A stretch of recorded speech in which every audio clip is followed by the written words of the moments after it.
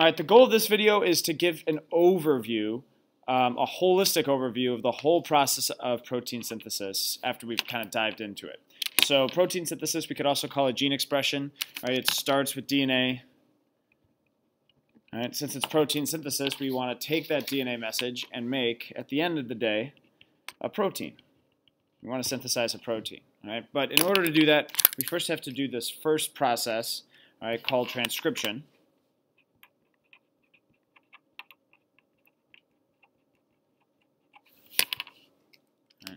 And the whole point of doing that is to make an mRNA molecule that could leave our nucleus. So let's just set the stage of where we are right here.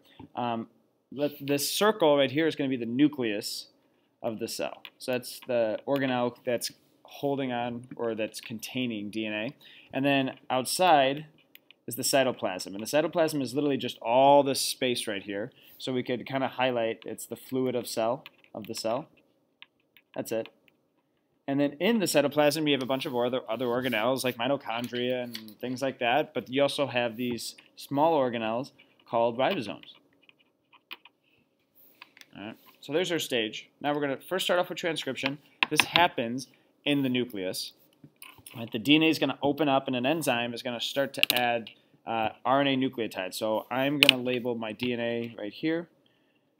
All right, notice I'm kind of making DNA blue. I'm going to make RNA red. And so the RNA nucleotides are going to start attaching here. So an A with a T, a U with an A, a G with a C. Remember U because it's RNA. Right. And then I could just continue to fill out this DNA template. All right. Um, and then what ends up happening is this RNA molecule ends up just leaving the DNA once it's been made. So I'm just going to rewrite it here. AUG, AUC, UCG, UAA, and that's my mRNA molecule. And the DNA is eventually just going to zip right back up. All right, so now once we have our RNA, mRNA molecule, the DNA can stay in the nucleus, but our mRNA is going to travel out of the nucleus. There's like these little holes or pores in the nucleus, and they're going to go out into the cytoplasm, the fluid of the cell, and they're going to specifically go to a ribosome. All right, so in this process, we, we need to take this mRNA code and we need to translate it into a protein. So this process is called translation. All right. Uh, notice that I have a little bit of extra mRNA right here, so we could almost imagine that we could just kind of get rid of that, right, just because I wanted to look at make it look really similar to what we drew up here. All right, so we're going to start with a, a codon, right, and remember a codon is just like these um, sequence of three nucleotides in an mRNA strand. So let's actually label this as our codon. And then this is a codon. And our mRNA. And once it's at the ribosome, you have these tRNA molecules. So we can label these as tRNA.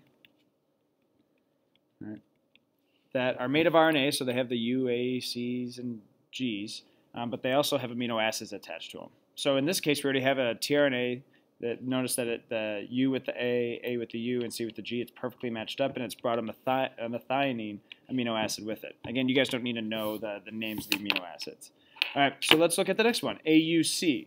So if this is AUC, I'm going to be looking for an anticodon that is UAG. And so I'm going to look around here, UAG, this one right here. So this tRNA molecule is going to move over and attach the anticodon. So by the way, these are the anticodons attached to the tRNA. It's going to attach with the codon of the mRNA. So I'm just going to kind of redraw my tRNA molecule right here. And attached to that tRNA molecule is this amino acid ILE. I actually forget the what that abbreviation stands for. so ILE goes right here. Now, once these amino acids are fairly close to one another, they form a bond. So we've just formed a protein. now it's gonna we're gonna continue to add to this chain. So I'm gonna look at UCG. Right, UCG would be the anticodon for that would be AGC. So let's see, AGC. So that's serine right here. SER, SER. And so that moved in right here. Just draw an arrow just to kind of show the tRNA molecule was here, now it's here, it was here, now it's here. And then once again, these amino acids are right next to each other. They are going to form a bond. All right. Now, eventually, the tRNA molecules, once these bonds are formed, they're just going to go off and leave, and the ribosome and the mRNA, that's eventually all going to leave. But what you're going to be left is with these amino acids bonded together, all right, and you finally have a protein. And that's that's an overview of protein synthesis. Hopefully, this is a helpful, uh, holistic visual sheet for you guys to go back and reference. Thanks for watching.